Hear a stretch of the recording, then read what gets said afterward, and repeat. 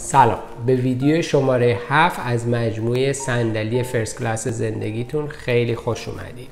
از اینکه تا الان همراه من بودید خیلی ازتون متشکرم. امیدوارم که بهتون کمک های زیادی کرده باشه.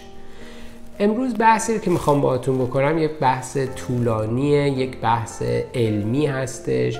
پایه تحقیقات مختلفی داره که آدمای کارشناس بزرگی روش سالها کار کردن و قاعدتا نظرات شخصی و حدسیات شخصی من خیلی نمی‌تونه درش دخیل باشه. برای اینکه نیاز داره که بر همون اساس علمی به سوالات و مطالبی رو که الان مطرح می‌کنیم پاسخ درست داده بشه.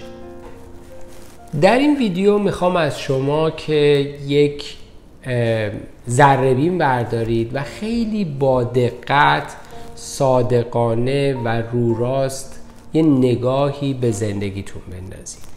چرا میگم رو راست؟ به خاطر اینکه ذهنیت ما به طوری شکل گرفته که ما در طول زندگی با خودمون شوخی می‌کنیم به خودمون دروغ میگیم و با همدیگه و با خودمون رو راست نیستیم. بنابراین خیلی مهمه که خیلی صادقانه به زندگیتون نگاهی بکنید. سوال مهمی که در اینجا مطرحه اینه که آیا من اونطوری که دوست دارم زندگی می‌کنم یا نه. بدون اینکه هیچ نظری از شما گرفته باشم تا این لحظه می‌تونم به صداقت بگم بهتون که بیش از 80 درصد آدم ها جوابشون در مورد این سوال خیر هستش. این ربطی به اینکه ما در کجای دنیا زندگی می‌کنیم در کدوم کشور هستیم شرایط زندگیمون اقتصادیمون به چه شکلی هستش شرایط خانوادگیمون به چه شکلی هستش جوابها جوابهای بسیار بسیار مشابهی هستند. یعنی ما از نوع زندگی که داریم می‌کنیم رضایت کامل نداریم. برای اینکه این مطلب براتون روشنتر بشه و بگیم که چرا اکثر آدما از زندگی که انجام میدن رضایت ندارن و اون چیزی رو که می‌خوان باشن در زندگی نیستن ازتون می‌خوام یه کاغذ و قلم بردارین و سه تا از اصلی ترین خواسته هاتون رو در زندگی روی اون کاغذ بنویسید. می‌تونین ویدیو رو همینجا پاز بکنید نگهش دارید برین این سه تا مطلب که یکی از مهمترین چیز هاست که بدونین چه خواسته هایی در زندگی اولین و با اولویت های خواسته هاتون ره اونها رو روی کاغذ بیارید باز هم هیچ ربطی نداره که کجای دنیا زندگی می‌کنیم و در چه شرایطی هستیم. جواب اغلب آدم ها در مورد این سه تا خواسته در زندگی جواب مشابهی هستش اولین خواسته آدم ها بدون توجه به اینکه کجا زندگی می کنند از چه قوم و نژادی هستند در چه کشوری با چه شرایطی زندگی می کنند استقلال مالی هستش. استقلال مالی به معنای ثروت نیست. استقلال مالی یعنی اینکه ما بتونیم کارهایی رو که از نظر مالی نیاز در زندگی انجام بدیم و خواسته هایی رو داریم که نیاز مالی داره اون خواسته ها رو بتونیم به راحتی انجام بدیم. فرض بکنید بعد از یک مدت زمان کار طولانی نیاز به مسافرت دارید نیاز به تعطیلات دارید امکان این رو داشته باشین که بدون دغدغه به این مسافرت برید امکان این رو داشته باشین که غذایی رو که دوست دارین در رستورانی که دوست دارین صرف امکان این رو داشته باشین که کتابی یا فیلمی رو که دوست دارین تهیه بکنین و ازش استفاده کنین. امکان این رو داشته باشین که هدیه ای رو که دوست دارین برای دوستتون نزدیکترین دوستتون یا اعضای فامیلتون تهیه بکنین و در اختیارشون قرار بدین. این یعنی اینکه شما آزادی فکر داشته باشین در مورد منابع مالی زندگیتون.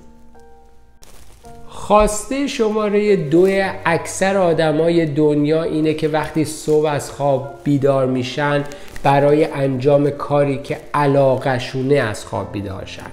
برای کاری که بهش شوق دارن برای کاری که بهش اشتیاق فراوون دارن علاقه زیاد دارن خلاقیت زیادی برای اون کار دارن.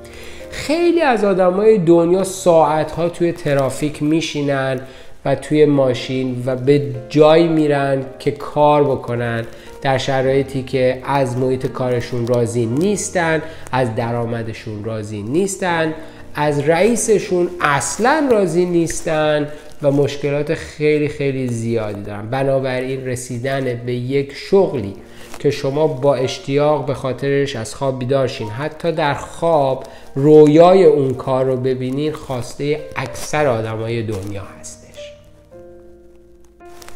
خواسته شماره سه همه آدم اینه که دوروبرشون پر باشه از آدمهایی که بهشون انرژی مثبت میدن. خواستهشون اینه که آدم های موفق دور برشون باشن. خواستشون اینه آدم هایی باشن که به اونها به اونها انگیزه بیشتر میدن و به اونها یاد میدن که چطور بهتر زندگی بکنن. خیلی بعید می‌دونم که آدمی در دنیا وجود داشته باشه بگه من دوست دارم معاشرینم آدمای افسرده ای باشن و آدمای بیکاری باشن و هیچ برنامه و هدفی تو زندگی نداشته باشن. من دوست دارم با اینجور آدما در ارتباط باشم. همچین چیزی اصلا وجود خواهد نداره. خب خودتون توجه کنین. اگر این سه تا شرط و سه تا خواسته اکثر آدمای دنیا که ممکنه تو نوشته های خیلی از شما هم وجود داشته باشه برآورده بشه ببینید چقدر زندگی می‌تونه زیباتر بشه چقدر جذابتر باشه چقدر شما احساس بهتری می‌تونید توی زندگی داشته باشید. بنابراین برای رسیدن به این سه تا شرط باید بدونیم یک مطلب مهم که این سه تا شرط از اول تو زندگی همه آدم ها نیستش. اینها به مرور زمان توی زندگی ساخته میشه و به وجود میاد. و هیچ آدمی هم نیست بگه من از ازل این, این شرایط رو توی زندگیم داشتم. طبیعتا همچین شرایطی از روز اول برای هیچ کسی وجود نداره. معنیش اینه که اکثریت آدم هایی که امروز از شرایط زندگیشون راضی نیستن یعنی خواسته های اصلی که توی زندگی دارن اون خواسته ها برآورده نشده. یکی از ریشه های این که این خواسته ها برآورده نشده برمیگرده به بحثایی که قبلا با شما کردیم. الگوهای ذهنی نامناسب که بسیار مفصل راجع به صحبت کردیم عادت های بدی که نیاز به تغییر دارن. تغییر الگوهای زندگی نیاز به یه سری شرط داره. شروطی که ما باید بهش متحد باشیم تا اینکه بتونیم اون تغییرات رو توی زندگی ایجاد بکنیم. آدمای خیلی بزرگی در کتاباشون در سمینارهاشون راجع به این اصول صحبت کردن. یکی از کتابایی که من می‌خوام بهتون معرفی کنم که احتمالا خیلی از شماها باش آشنا هستین به نام Think and Grow Rich نوشته آقای ناپولین هیل هستش که در سال 1937 نوشته شده. همونطور که گفتم کتاب Think and Grow Rich. در فارسی هم فکر می‌کنم ترجمه شده به نام بیاندیشید و ثروتمند شوید. من نمی‌دونم ما چه انتشاراتی هست ولی می‌تونین احتمالا تهیهش بکنین. در سال 1937 همونطور که گفتم نوشته شده نزدیک به 100 سال پیش نتیجه صحبت نویسنده این کتاب آقای هیل با نزدیک به 25 هزار نفر از موفق ترین آدمای زمان خودشون. خب این کتاب بارها بازنویسی شده و به روز رسانی شده که بشه در امروز هم استفاده کرد. بعضی از پیروان این, این مسیر مثل آقای با پراکتر همین امروز دارن از روش های نوین رسیدن به تغییر در الگوهای ذهنی استفاده می‌کنن آنها رو تدریس می‌کنن برای اینکه کمک کنن به آدمای خیلی خیلی زیادی که رضایت از شرایط روز زندگیشون ندارن. یک لحظه به نتایج به دست اومده در زندگیتون دقت بکنید. نتایج زندگی یعنی اونچه که خروجی زندگی ما هستش تنها چیزی است که هرگز به ما دروغ نمیگه. ممکنه ما خودمون با خودمون رو راست نباشیم ولی نتایج زندگی ما به هیچ عنوان نمی‌تونن اطلاعات و داده های غلط به ما ارائه بکنن. حساب بانکی شما هیچ وقت نمی‌تونه دروغ باشه. یعنی عملکرد مالی شما رو نشون میده. سلامت جسمی شما نتیجه نوع رفتار شما با بدنتونه. بنابراین تنها چیزیه که نمی‌تونین انکارش بکنین وقتی که شرایط مناسبی نداشته باشه. یا وضعیت وضعیت روحیتون وضعیت جسمیتون اینها نتایج زندگی شماست که هرگز و هرگز خلاف واقع نخواهند بود. اگر می‌خواهیم که بفهمیم چقدر با خودمون رو راست بودیم و چقدر رضایت داریم نگاه می‌کنیم در سه حوزه مختلف نتایج زندگیمون رو. حوزه اول سلامته خیلی مهمه. همونطور که براتون توضیح دادم سلامت جسم و روح از نتایج زندگی ما خبر میدن. حوزه دوم خوشحالی شادابی در زندگی هستش که کاملا می‌تونه نشون دهنده رسیدن شما به خواسته هاتون در زندگی باشه. همونطور هم که توضیح دادم قبلا خدمتتون ثروت و وضعیت مالی سومین حوزه ای هستش که می‌تونه در نتایج زندگی شما نشون دهنده رضایت شما از وضعیت موجود و خروجی عملکرد شما در زندگی باشه. حالا اگر صادقانه و رو راست نتایج زندگی خودتون رو بررسی کردین و دیدین که نتایج رضایت بخش نیستش به این نقطه می‌رسین که باید عادت ها و الگوهای بد زندگی رو که قبلا باهاش آشنا شدین و در ویدیوهای قبلی باهاش راجع صحبت کردیم رو تغییر بدیم یک شخصی هست به نام آقای بارکر. آقای بارکر کتابی داره به نام پارادایم یا همون الگوهای ذهنی که در این کتاب میگه من عینش رو از رو براتون بخونم. میگه که برای اینکه آینده خودتون رو شکل بدین باید تمایل و توان تغییر عادتهای ذهنی خودتون رو داشته باشین.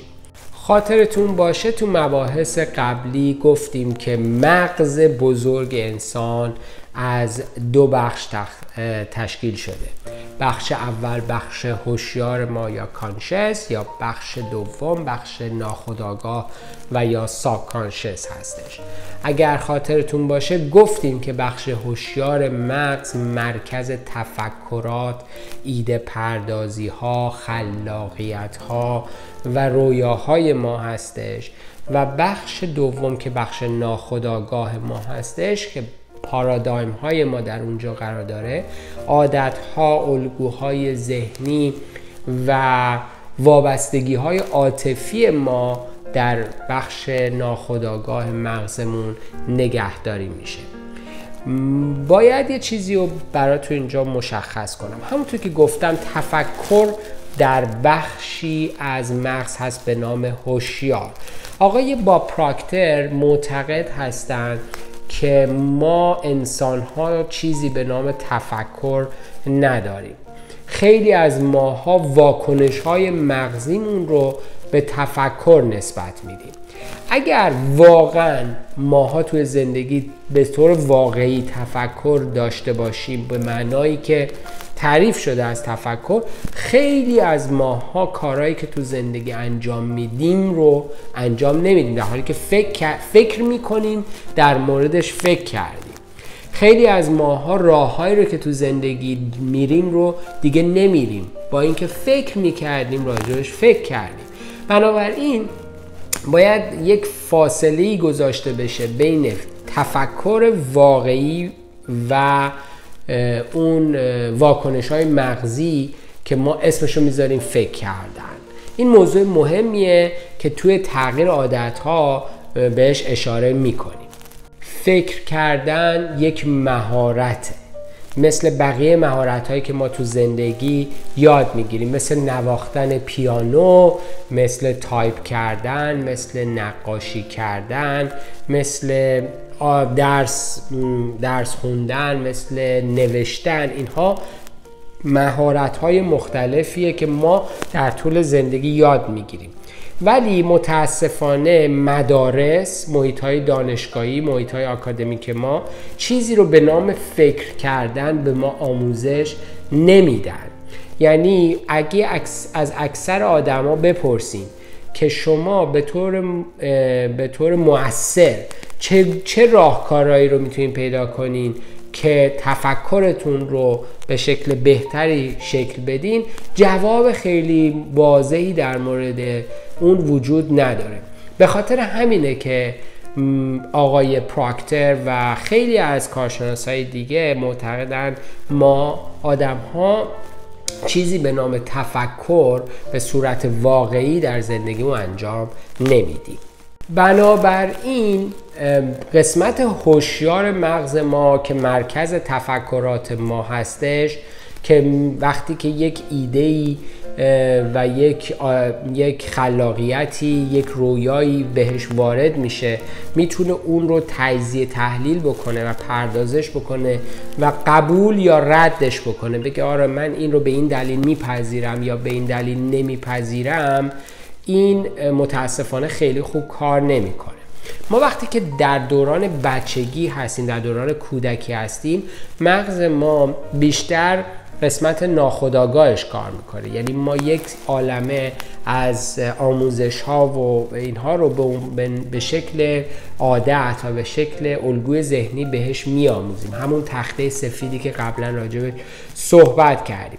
ولی فکرمون اینه که وقتی که به سن بزرگسالی رسیدیم قسمت هوشیاری که قسمت دوم مغز ما هست از مجموعه از مجموعه آموزش ها تفکرات ایده پردازی یا رویاها هستش می‌تونه بخش ناخودآگاهمون رو کاور بکنه و اجازه نده که اون رویاها کنترل زند... اون ببخشید عادت ذهنی و الگوهای ذهنی کنترل زندگی ما رو بر عهده بگیرن. فکر می‌کنیم اگر تو سن بزرگسالی هستیم اگر اخباری رو میشنویم اگر به تلویزیون نگاه می‌کنیم تو فضای مجازی چیزی رو میشنویم قدرت تجزیه تحلیلش رو داریم و می‌تونیم تصمیم بگیریم کدوم یکی از این اطلاعات رو بپذیریم کدوم یکی از این اطلاعات رو پس بزنیم ریجکتش بکنیم. ولی در واقعیت این اتفاق نمیافته. ما حتی در سن بزرگسالی مثل یه بچه میمونیم. از نظر عاطفی تمام اطلاعات و داده هایی که وارد مغزمون میشه بدون اینکه کوچکترین مقاومتی نسبت بهش انجام بدیم قبول می‌کنیم و میپذیریم. چرا؟ به خاطر اینکه الگوی ذهنی ما طوری طراحی شده که ما اصلا از خودمون اختیاری بابت مقاومت و رد کردن اون چه که به عنوان خلاقیت به عنوان تفکر به عنوان اطلاعات و داده های جدید به ما داده میشه نداریم. خیلی از ماها فکر می‌کنیم برای اینکه بتونیم تغییر بکنیم بهتر بیشتر دانش کسب بکنیم. بهتره کیش بیشتر کتاب بخونیم. بهتره که بیشتر دانشگاه بریم نمی‌دونم درس بخونیم درس آکادمیک بخونیم. ولی خاطرمون باشه.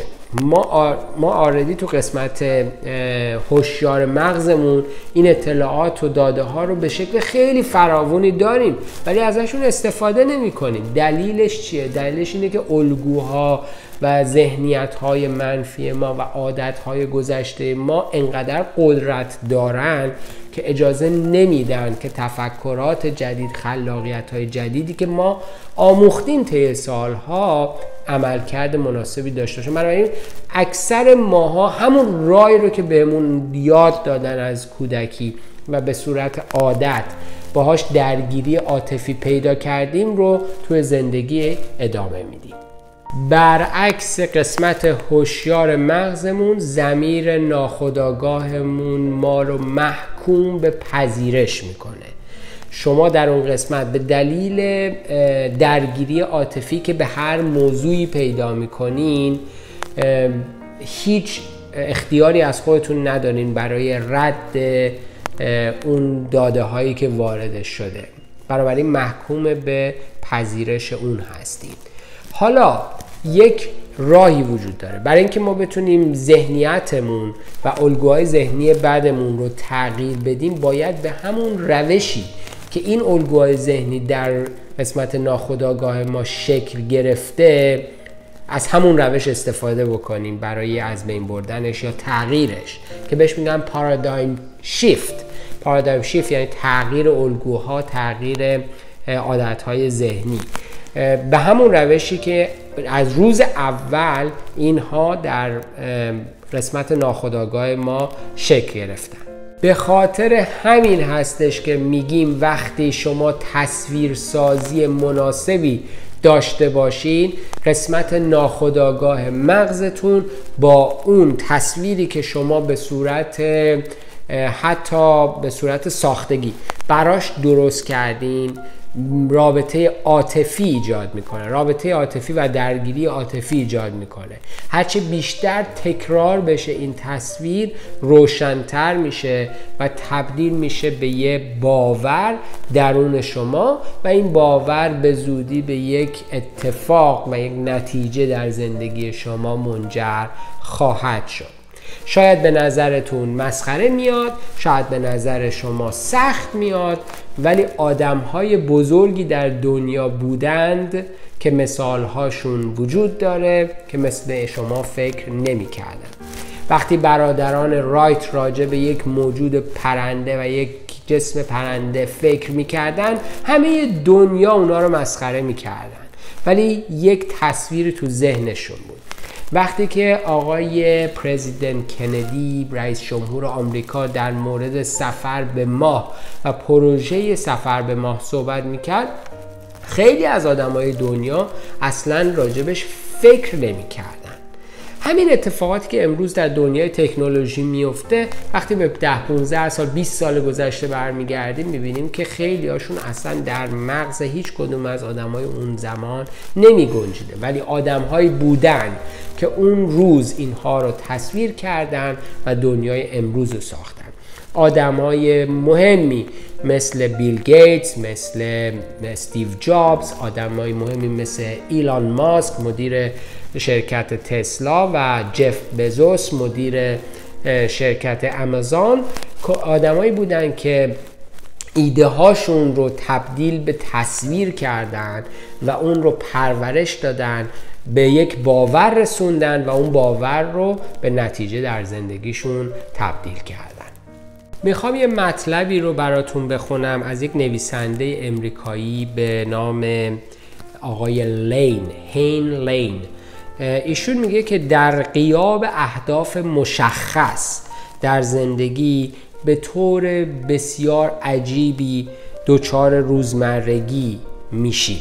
تا وقتی که اسیر و برده روزمرگی های خودمون میشیم.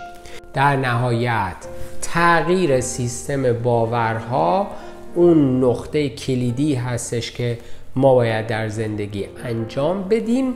تا ساختار مغزمون رو تحت کنترلمون قرار بدیم بتونیم عادتها و الگوهای ذهنیمون رو اون چیزی قرار بدیم و اون چیزی بسازیم که مورد نظرمون هست. در نهایت می‌رسیم به خواسته های اصلی زندگیمون همون مسائلی که در مورد استقلال مالی شغل مورد نظرتون و معاشرین مورد نظر و مورد علاقتون از این روش می‌تونین بهش دسترسی داشته باشین می‌دونم که این ویدیو ویدیو طولانی بود.